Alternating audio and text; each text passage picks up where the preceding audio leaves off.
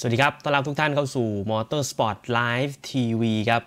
รายการที่จะพาทุกคนนั้นดำดิ่งไปกับโลกของกีฬามอเตอร์สปอร์ต อยู่กับผมเช่นเคยครับ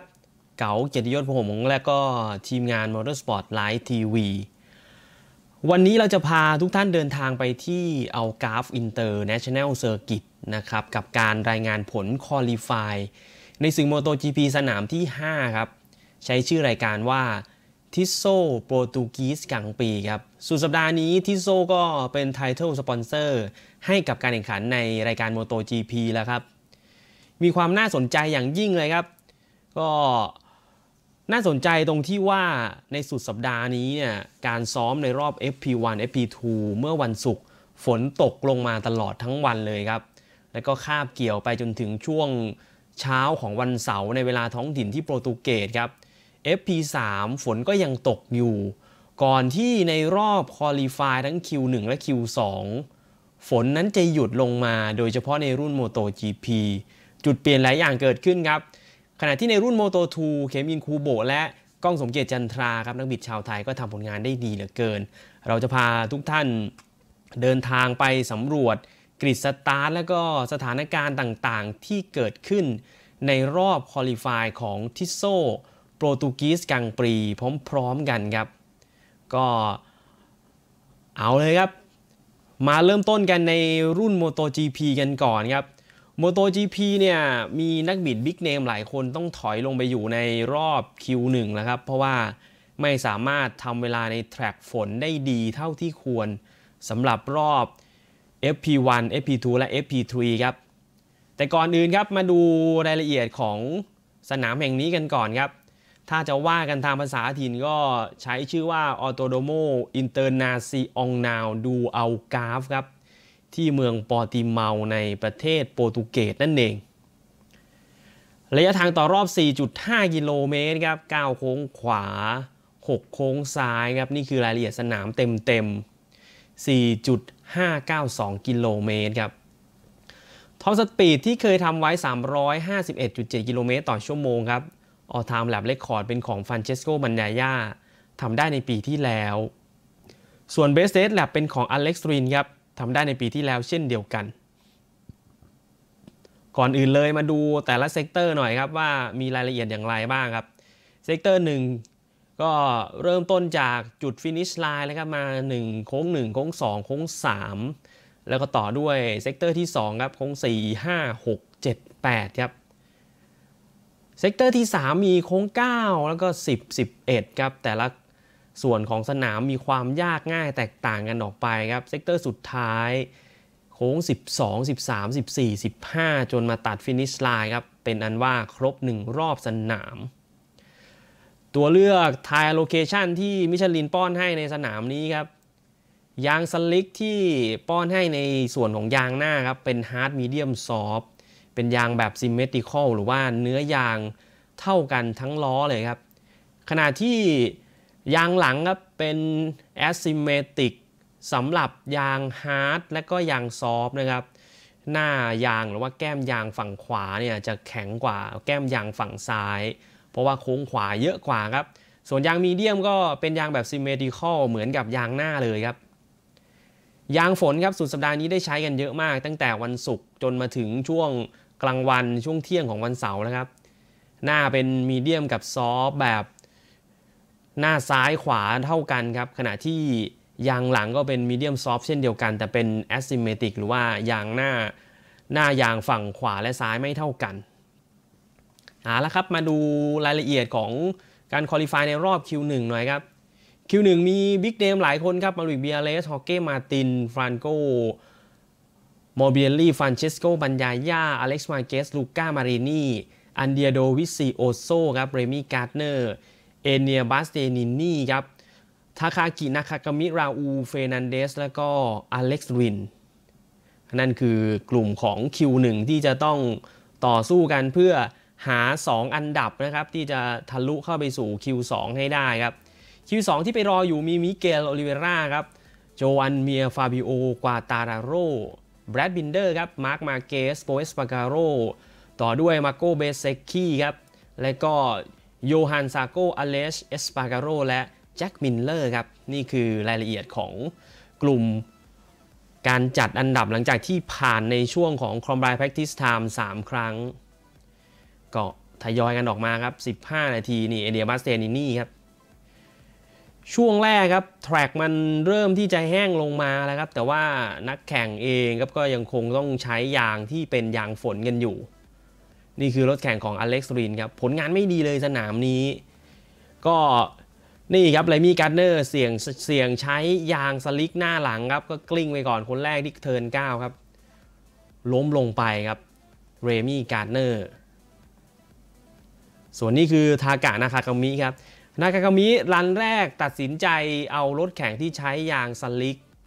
หน้าหลังเป็นซอฟออกไปวิ่งนะครับ แต่แค่เอาแลบออกไปไม่ไหวครับ กลับมาเปลี่ยนอีกคันหนึ่งเป็นยางฝนออกไปวิ่งครับ และนี่คือเอเนียบัสเตนินีบัสเตนินีสนามนี้ไม่ค่อยดีเลยในรอบคอลิฟายครับ ก็พยายามที่จะไต่ขึ้นไปสู่ Q2 ให้ได้ครับ แต่มันไม่ไหวครับ ส่วนนี้คือเปโก้บัญญาย่าครับ บัญญาย่าเป็นอีกคนหนึ่งที่ตัดสินใจเสี่ยงใช้ยาง slick soft soft ในช่วง 4-5 นาทีแรกครับ run แรกเลยครับ พอออกมาปุ๊บล้มที่ turn 3 แล้วเปโก้เจ็บด้วยครับ โอ้โห กลายเป็นว่าฟรานเชสโกบัญญาย่าจากการล้มจังหวะนี้ครับ หัวไหล่ด้านขวากระแทกลงไปเต็มๆเลยครับ จากการ high sideก็เลยไม่มีเวลาต่อรอบในการ qualify ทำให้ตัวเขาเองต้องออกสตาร์ทจาก grid สุดท้ายของการแข่งขันในวันอาทิตย์ ทางการอาคากามิครับ ดีขึ้นเรื่อยๆครับ นี่คือภาพ replay ครับ จังหวะของฟรานเชสโกบัญญาย่าที่พลาดล้มลงไป ที่โค้ง 3 ครับ ยางมันลื่นครับไปเบียดไปเหยียบเอาบริเวณที่มีน้ำอยู่ครับแล้วยางที่ใช้เป็นยางสลิกมันก็แพรดไปเลยครับ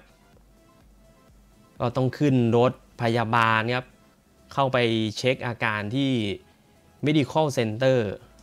และนี่อีกคนหนึ่งลาอูเฟนันเดสล้มไปอีกคันเนี่ยลาอูเองก็เป็นอีกคนที่ใส่สลิกหน้าหลังออกมาแล้วครับ คือยางสลิกเนี่ยมันมาได้ผลในช่วงประมาณ 3-4 นาทีสุดท้ายเท่านั้นเองนะครับแล้วก็กลายเป็นนี่นะครับฮอเก้มาตินในช่วงท้าย อเล็กมาเกสแล้วก็ลูก้ามาเลนี่ที่มาไล่บทกัน ส่วนคนที่ล้มไปอีกคนนึงตรงนี้คือเอเนบัสเดนี่ครับ ก็ใส่สลิกสลิกออกมาวิ่งเหมือนกันครับ กลิ้งไป มาแชลก็เข้ามาช่วยปฐมพยาบาลอย่างทันท่วงทีครับ ทีมงานเกรซินี่สนามนี้ผลงานไม่ดีเลยครับ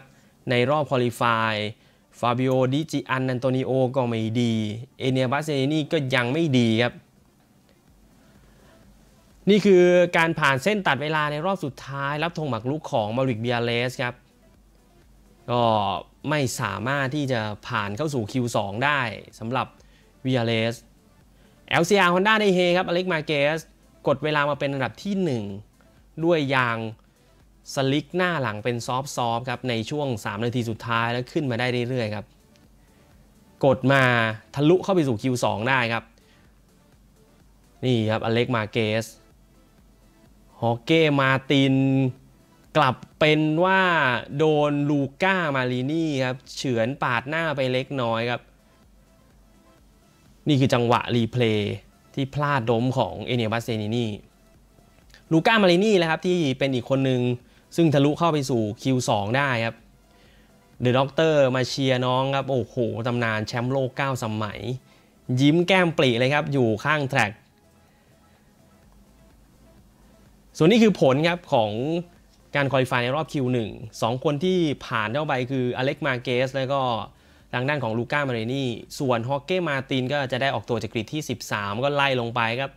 มีฮอร์เก้มาร์ติน มาวิลิกเบียเลสครับ 14 15 ฟาบิโอ ดิจิอันอันโตนิโอ 16 อันเดรียโดวิซิโอโซครับ ตามด้วยทากานาคากามิ เอเนียบาสเตียนินี่ แล้วก็ฟรังโกมอร์บิเดลลี่ครับ แล้วก็อันดับ 20 นะครับ ใน grid นะ ก็คือเรมี่การ์ดเนอร์ ลอเรนโซซาวาดอรีต่อครับ แดร์ริน บินเดอร์ อเล็กซ์ รินนะครับ แล้วก็ราอูลเฟอร์นันเดซ รวมถึงฟรานเชสโก บัญญาญา ซึ่งสนามนี้จะได้ออกตัวจาก grid ที่ 25 ครับ เหนื่อยครับ ทางด้านของฟรานเชสโกบัญญาญาครับ ทีนี้เราไปต่อกัน Q2 เลยครับ Q2 ก็ได้ 2 คนขึ้นมาจาก Q1 นั่นคืออเล็กซ์มาร์เกสแล้วก็ลูก้ามารินีมารวมกันกับมิเกลโอลิเวราโจอันเมียร์ ฟาบิโอกวาตาราโร่แบรดบินเดอร์ครับมาร์คมาร์เกสโปลเอสปาร์กาโรมาร์โกเบเซคคีโยฮันซาร์โกอเลชเอสปาร์กาโรแล้วก็แจ็คมิลเลอร์ครับ ส่วนที่อยู่ทางด้านซ้ายของหน้าจอครับก็ไล่ลงมาจาก grid ที่ 13 ครับ ตรงนี้เลยนะครับไล่ไปถึง grid ที่ 22 นั่นคืออันดับ grid start ของคนที่ไม่ได้ผ่านเข้าสู่ Q2 ครับอ่าแล้วครับช่วงเวลาที่บีบหัวใจแฟนๆ ทั่วโลกคือการ qualify ในรอบ Q2 ของ MotoGP แล้วครับฟาบิโอกวาตาราโร่ครับ คือ พอเข้าสู่ 15 นาทีของการ qualify Q2 นักแข่งทุกคนก็ใช้ยาง slick หน้าหลังเป็น soft นะครับ ออกมาวิ่ง วิ่งแบบยาวๆนะครับ เพราะว่าด้วยอุณหภูมิ track ที่มันไม่ร้อนขณะที่ยางเซตเดียวก็จะได้ค่อยๆ นวดไปเรื่อยๆครับ ช่วงแรกอเล็กมาร์เกสมาดีมาก ตามด้วยลูก้ามารินี่ครับสองคนนี้ก็ไล่บดกันอยู่ครับโจอันเมียร์คนหนึ่งที่โดดเด่นขึ้นมา สนามนี้ทำได้ดีจริง ๆ มิเกลโอลิเวราก็มองข้ามไม่ได้นะครับ นักบิดเจ้าถิ่นข้างในนู่นเป็นแจ็คมิลเลอร์มาร์คมาร์เกสครับพยายามไล่อย่างเต็มที่แล้วในสนามนี้ครับ ตัวเขาเองพลาดล้มหนักในรอบ FP3 ท้ายที่สุดก็เลยกลายเป็นว่า พอพลาด high side ไปก็ไม่สามารถที่จะลงมาลงมาซ้อมต่อได้ครับ ซึ่งตัวเขาเองก็ไม่ได้บาดเจ็บอะไรแต่ว่าตัดสินใจที่ จะไม่ลงซ้อมเพราะว่ากลัวที่จะล้มอีกครั้งหนึ่งโจอันเมียร์ครับ ช่วงท้ายเนี่ยนะครับการตัดสินตำแหน่งโพโพซิชันของโปรตุกีสกรังด์ปรีซ์ก็มาลุ้นกันตรงนี้ลุ้นแจ็คมิลเลอร์ขึ้นมาเป็นอันดับหนึ่งครับ ช่วง 1 นาทีกับ45 วินาทีที่เหลือ มาร์คมาร์เกสทำเวลาแถบแดงมาอย่างต่อเนื่องนะครับ แต่จากจังหวะนี้ โอ้โห ของทางด้านโปลเอสปาร์กาโร มาร์เกสรอบนี้ขึ้นมาเป็น pole lap แล้วด้วยนะครับ แต่ท้ายที่สุด ตรงนี้มาร์คขึ้นมาครับ แต่ก็โดนยกเลิกเวลาจากการวิ่งผ่านช่วง sector ที่มีธงเหลืองครับ ของโปลเอสปาร์กาโรนั่นเอง teammate ของเขาแล้วครับ ก็ไปว่าไม่ได้ฮะอัลแบร์โตปูชก็เซ็งแล้วครับ มาร์คก็โบกมือให้แฟนๆ แต่ว่าท้ายที่สุดแล้วตัวเขาเองก็เข้าใจนะครับสถานการณ์ว่า มันเกิดอะไรขึ้นครับ ช่วงท้ายยังมีความเปลี่ยนแปลงแล้วครับบน grid start แจ็คมิลเลอร์อยู่ข้างบนอยู่นะครับตอนนี้ โจอันเมียร์ เทินซ้ายตรงนี้มาแล้วก็กลายเป็นโยฮันซาโก้ครับกดรอบสุดท้ายเลยครับวิ่งไป 9 รอบแล้วรอบที่ 9 นะครับ คว้า pole ไปครอง นักบิดชาวฝรั่งเศสจาก Pramac Racing ครับ นี่ครับ โบกไม้ โบกมือให้กับ แฟนๆครับอันดับที่ 2 เป็นของโจอันเมียร์ครับ และมีคนหนึ่งที่เซอร์ไพรส์ขึ้นมาในช่วงท้ายคืออเลชเอสปาร์กาโรครับ นักบิดชาวสเปนจากอ p ิเลียเลสซิ่งทีมโปเองก็เซ็งแล้วครับ เขาเองก็ไม่ได้อยากพลาดล้มที่โค้ง 15 ครับ sector สุดท้าย โอ้โห เวลากำลังมาดีๆ และเป็นจังหวะที่มาร์คมาร์เกซนั้นกำลังทำ flying lap ครับแดงมาทุกแถบเลย มาร์คบอกเข้ามาให้สัมภาษณ์หลังที่จบ qualify ก็บอกว่า สิ่งที่เราต้องการในตอนนี้คือ วิ่งไล่ตามหาเทมีเทพีแห่งโชคให้อยู่กับตัวของพวกเราให้ได้ครับ คือถ้าเกิดมาร์คไม่โดนตัดเวลาในรอบดังกล่าวก็น่าจะดีเพียงพอที่จะได้ออกสตาร์ทจากแถวที่ 2 ประมาณ grid ที่ 4 ที่ 5 ครับ แต่อย่างว่าครับ พอเวลามันออกมาตรงนี้มาร์คเองก็ได้ออกตัวจาก grid ที่ 9อเลชเอสปาร์กาโรครับให้สัมภาษณ์หลังจากที่ จบการ qualify ด้วยอันดับที่ 3 ได้ออกตัวแถวหน้าครับ ตัวเขาเองก็บอกว่ามันน่ากลัวมากๆ เขาไม่อยากพูดเลยว่ามันน่ากลัวมากๆนะครับ เพราะว่าสนามนี้มันต้องกล้าแล้วก็ขี่ให้แม่นยำจริง ๆ ที่จะไม่ไปเหยียบบริเวณ track ที่มีน้ำอยู่ก็มาดูตรงนี้ครับ สรุปผล qualify ครับ Tissot Portuguese Grand Prix สนามที่ 5 ของ MotoGP โยฮันซาโก้เจ้าของ pole ครับ grid ที่ 2 โจอันเมียร์ แล้วก็ขนาบข้างด้วยอีกคนหนึ่งคืออเลชเอสปาร์กาโรครับ แถวที่ 2 ครับ ก็ไล่ตรงนี้แจ็คมิลเลอร์ฟาบิโอกวาร์ตาราโรและมาร์โกเบซเซคคีแถวที่ 3 ครับ grid ที่ 7 8 9 มีอเล็กซ์มาร์เกซลูก้ามารินี่แล้วก็มาร์คมาร์เกซอยู่ตรงนี้แหละครับ grid ที่ 9 grid ที่ 10 โปลเอสปาร์กาโรครับตามด้วยมิเกลโอลิเวราแล้วก็แบรดบินเดอร์ครับ 13 เป็นฮอร์เก้มาร์ติน 14มาเวริกบีญาเลส 15 ครับฟาบิโอดิจิอันนันโตนิโอ 16 เป็นของอันเดรียโดวิซิโอโซตามด้วย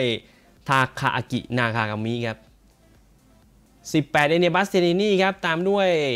ฟรานโกมอร์บิเดลลี่ แล้วก็ 20 เป็นของเรมี่การ์ดเนอร์ 21 ลอเรนโซซาวาโดรีครับ สนามนี้ลงบิด wildcard ให้กับ Aprilia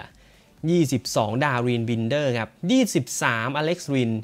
24 ราอูลเฟอร์นันเดซแล้วก็ปิดท้ายด้วยเปกโกบัญญาย่าไม่มีเวลาจากการไปพลาดล้มในรอบ Q1 นั่นเองครับ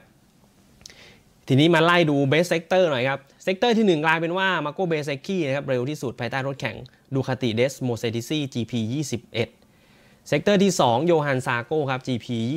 22 sector ที่ 3 เป็นของยามาฮ่าครับ ฟาบิโอกวาร์ตาราโรครับ แล้วก็ปิดท้ายด้วย Aprilia คือ sector ที่ 4ทำได้โดยอเลชเอสปาร์กาโรครับ ก็ดูตรงนี้ครับ sector 1 2 เป็นของ Ducati ครับ sector 3เนี่ยเป็นของ Yamaha sector 4 เป็นของรถแข่ง Aprilia ของอเลชเอสปาร์กาโรครับ เวลา Ideal Lap Time ก็อยู่ที่นาที 41.701 แล้วครับ เร็วกว่า เวลาที่ดีที่สุดของโยฮันซาโกอยู่ 0.302 วินาที นี่ครับโยฮันซาโกครับ ก็ต้องมาติดตามมันดูครับ การแข่งขันในช่วงค่ำของวันอาทิตย์นี้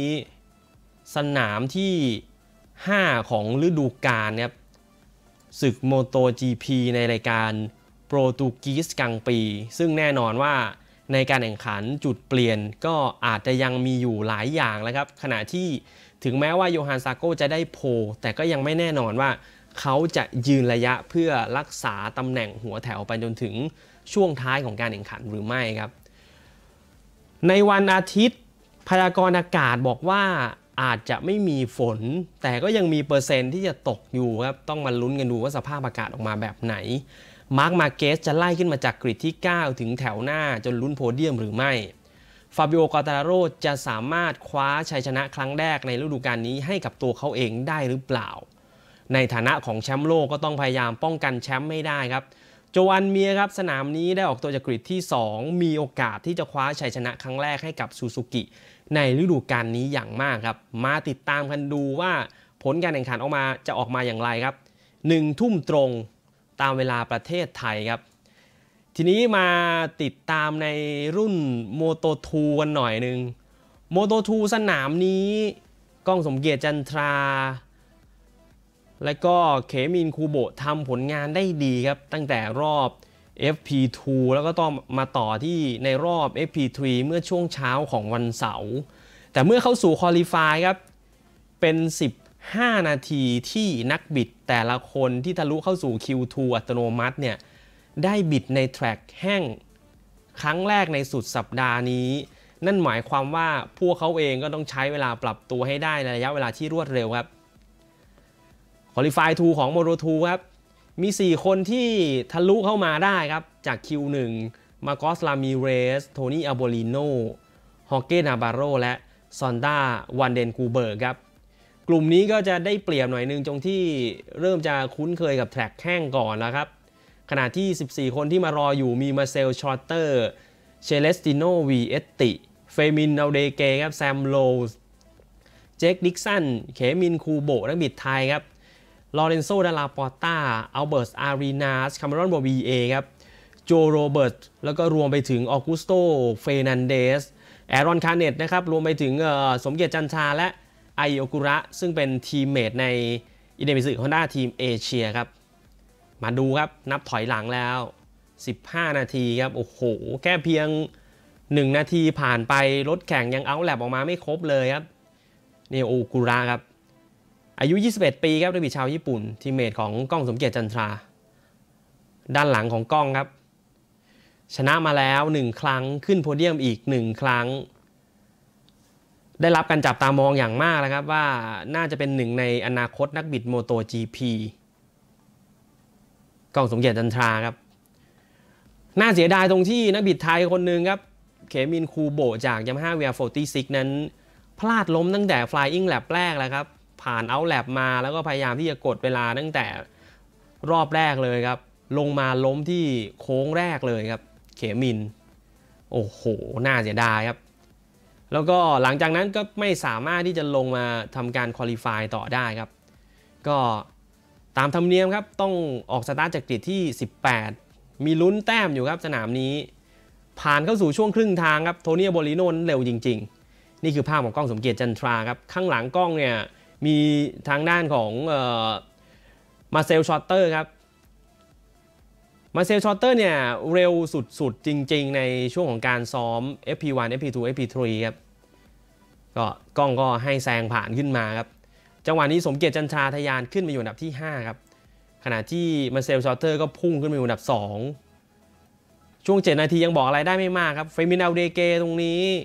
สนามนี้ยังไม่ค่อยเข้าที่เข้าทางครับ ดาวรุ่งชาวสเปนอายุ 17 ปี ก้องเองก็ขี่อยู่กับคนนี้นะครับ มาร์เซล ชรอตเตอร์ท้ายที่สุดสมเกียรติจันทราครับก็ได้ออกตัวจากกริดสตาร์ทที่ 8 ครับ ขณะที่มาร์เซล ชรอตเตอร์อยู่ในกริดที่ 12ก้องเองกริดที่ 8 ก็อยู่ในแถว 3 นะครับ อยู่ตรงกลางก็ยังพอมีลุ้น แต่คนที่เร็วสุดๆ จริง ๆ ในสนามนี้สำหรับการ qualify ก็ต้องยกให้คนนี้แอรอนคาเน็ตครับเร็วขึ้นเร็วขึ้น ตัวเขาเองทำผลงานได้ดีในสนามปอร์ติเมามาอย่างต่อเนื่องแล้วครับ ก็ถือว่าเป็นหนึ่งในเต็งที่จะคว้าชัยชนะใน race นี้ด้วยครับมาสรุปผลของกริดสตาร์ทหน่อยในรุ่น Moto2 แอรอนคาเน็ตคว้า pole ไปครองครับ ตามด้วยนักบิดอเมริกันนะครับคาเมรอนโบบิเยร์กริดที่ 3 เป็นของเจคดิกซันครับ นักบิดชาวอังกฤษ กริดที่ 4 โทนี่ อาร์โบลิโนครับ ทะลุขึ้นมาจากรอบ Q1กริดที่ 5 ออกุสโต เฟร์นานเดซ ตามด้วยแซมโลวส์ครับ กริดที่ 789 ครับมีไอ โอกุระแล้วก็สมเกียรติจันทราครับคู่หูจากอิเดมิตสึฮอนด้าทีมเอเชียกริดที่ 9 เนี่ยเป็นของโจโรเบิร์ตส์นักบิดชาวอเมริกันครับกริดที่ 10อัลเบิร์ตอารีนาสต่อด้วย 11ฮอร์เก นาวาร์โรแล้วก็ 12 เนี่ยเป็นของมาร์เซล ชรอตเตอร์ครับ13 14 15 เชเลสติโนวิเอตติจ่าฝูงบนแชมเปี้ยนชิพอยู่ตรงนี้ครับ 14 มาร์กอส รามิเรซ 15 เฟร์มิน อัลเดเกร์ 16 เป็นของซอนต้า ฟาน เดนกูร์เบิร์กครับ แล้วก็ 17 ลอเรนโซดัลลาปอร์ตา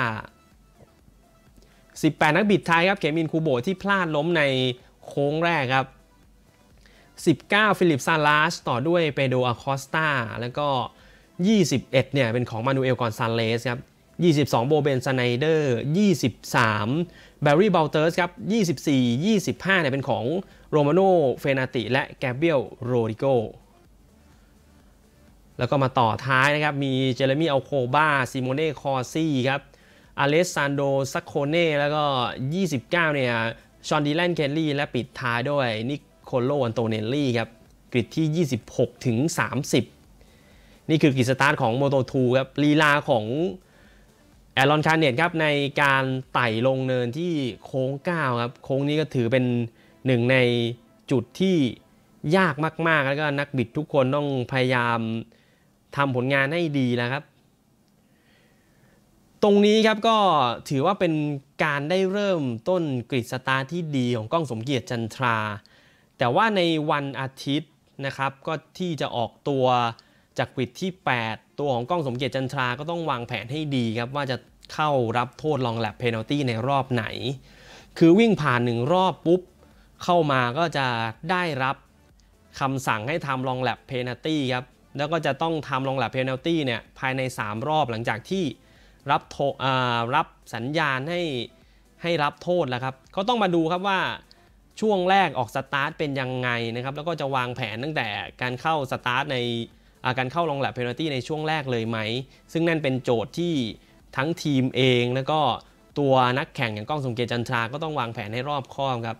เข้า long lap penalty สนามนี้ก็ใน track แห้งก็จะเสียไปประมาณ 3 วินาที ส่วนใน track เปียกครับก็น่าจะเสียไปเกือบเกือบ5วินาทีครับต้องมาติดตามดูว่าเกมในคืนนี้ครับ2ทุ่ม 30 นาทีเนี่ยจะออกมาในรูปแบบไหน ขณะที่เคมินคูโบเหนื่อยหน่อยครับ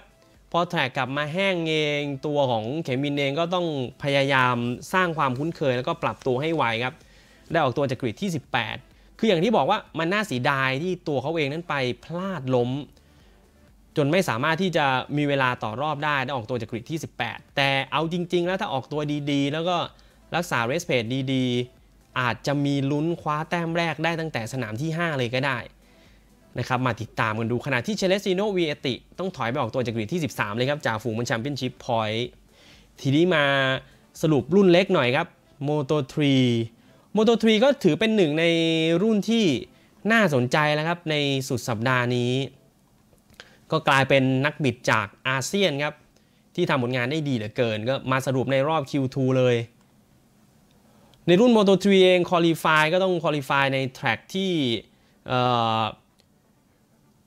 เริ่มที่จะเป็นกึ่งแห้งกึ่งเปียกครับมาริโออาร์จีเนี่ยทะลุขึ้นไปเป็นคนแรกครับดิโอโกโมเรย์ราริคคาร์โดรอสซี่คาร์ลอสทาทายครับ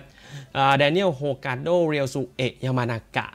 เจาเมมาเซียครับ แล้วก็มีลอเรนโซ เฟลลอน สกอตออดเดนทัสุกิ ซูซูกิครับ